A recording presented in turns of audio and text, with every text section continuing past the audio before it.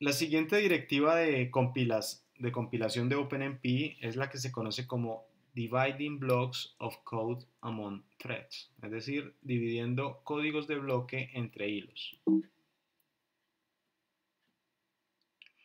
Observemos este código, es un poco diferente al que veníamos trabajando anteriormente. Tenemos cuatro vectores de tamaño n, donde n es 1000, y eh, inicialmente lo que hacemos es inicializar las variables, o más bien los vectores a sub i y b sub i, con las expresiones que están dadas dentro del bloque.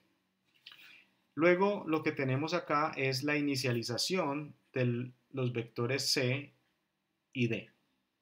La pregunta es, ¿qué podríamos paralelizar ahí? Algo que podríamos paralelizar sin duda alguna es la parte de la inicialización de los vectores A y B, pero lo que queremos paralelizar en este momento es la ejecución de estos dos ciclos. En particular, lo que queremos es que los ciclos corran de forma que corran los ciclos de cada uno de ellos dentro de un hilo. Entonces, ¿cómo especificamos esto?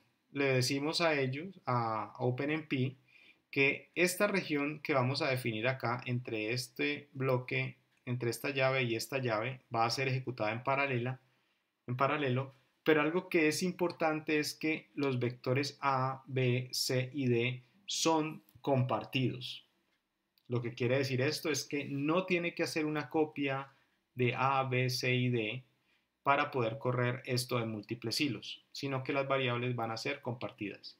Sin embargo, la variable i sí va a ser privada. Observemos que i está definida al comienzo del bloque main.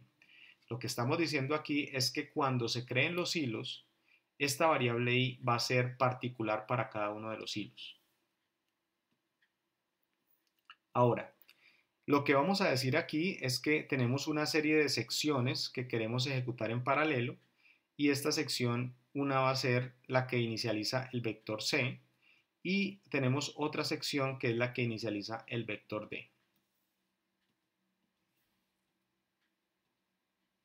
Entonces, lo que estamos diciendo aquí es que estas secciones que vamos a definir dentro de este bloque OMP Sections es no iterativa, es decir, que no es una detrás de la otra, sino que se puede ejecutar por diferentes hilos algo que es interesante acá es que estamos diciendo que estas, eh, estas secciones van a esperar, es decir, para poder continuar con la siguiente línea, se va a esperar a que termine cada una de estas secciones, pero como en este caso hemos dicho no wait, lo que le estamos indicando al compilador es que si por ejemplo termina esta, eh, esta, esta sección, pues se podría continuar con la ejecución de los hilos.